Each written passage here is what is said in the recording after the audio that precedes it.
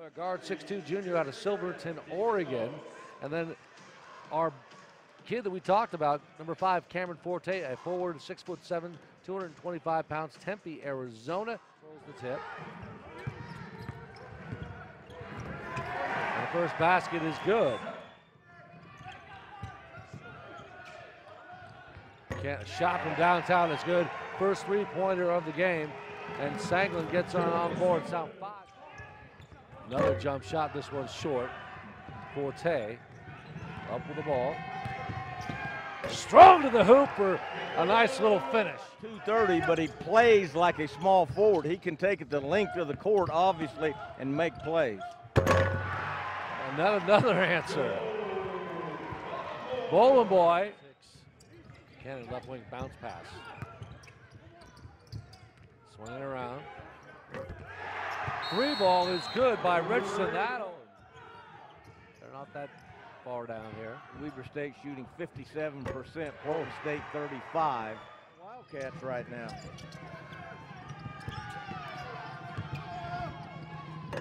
Forte with a hoop, and that's his eighth overall now.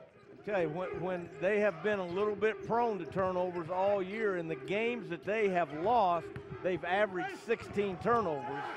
In the games, they a six-point lead. Okay. Wow, there's a shot there and a nice look. Up at 65. Forte coming to the scoring table, by the way. Strip, a foul, and it counts. How about that? De'Sean Parsons, the junior out of San Francisco, grabs the ball, puts it up.